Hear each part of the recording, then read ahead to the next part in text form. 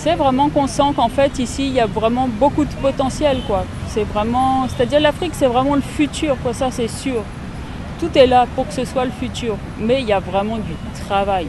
Il y a un gros travail et il faut que les gens se mettent ensemble, que les jeunes se mettent ensemble, que les gens se battent pour leurs droits. Moi je travaille beaucoup à base de tissus africains, de choses comme ça.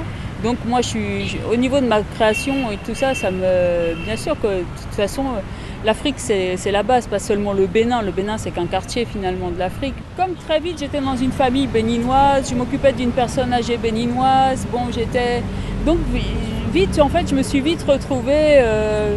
Bon maintenant quand je vais dans des quartiers que je connais pas ou au marché à Topa, bon là les gens me regardent un peu, mais en fait assez vite fait. Euh je me rends, en fait, les gens sont plutôt, euh, sont plutôt sympas. J'ai senti beaucoup de, chaleur des gens, vraiment beaucoup de chaleur des gens. C'est vrai, les gens sont vraiment, euh, sont vraiment gentils, quoi. Sont vraiment gentils.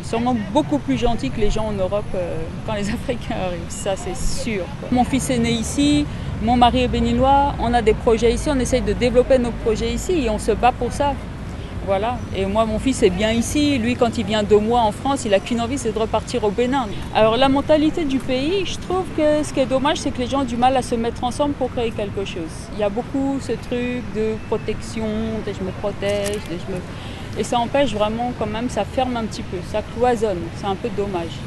Mais sinon, euh, sinon j'ai rencontré des gens merveilleux. Il y a beaucoup d'intelligence ici. Il y a beaucoup d'intelligence au Bénin, quoi. Mais euh, il faudrait que vraiment je ne sais pas si c'est au niveau de l'État, des gens qui contrôlent, qui se partagent un peu les trucs entre eux.